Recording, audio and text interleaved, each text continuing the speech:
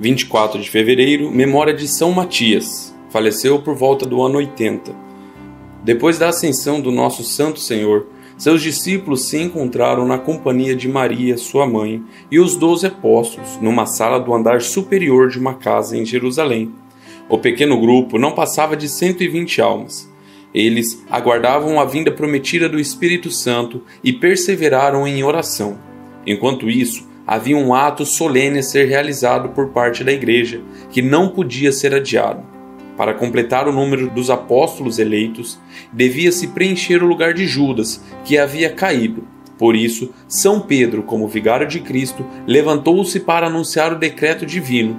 Portanto, era preciso escolher um entre aqueles que foram seus companheiros desde o início, que pudesse ser testemunhas da ressurreição de nosso Senhor Jesus. Escolheram-se dois de méritos equivalentes, José, chamado Barsabás, e Matias.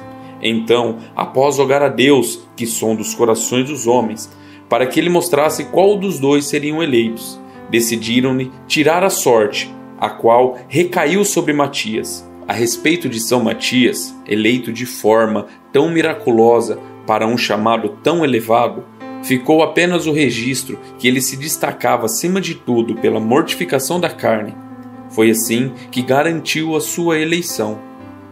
Reflexão: Nosso desconhecimento de muitos pontos da vida de São Matias serve para fixar a atenção ainda mais firmemente sobre as suas seguintes coisas: a ocasião do seu chamado ao apostolado e ao fato de sua perseverança Assim, conduziremos naturalmente o pensamento para a nossa própria vocação e fim último.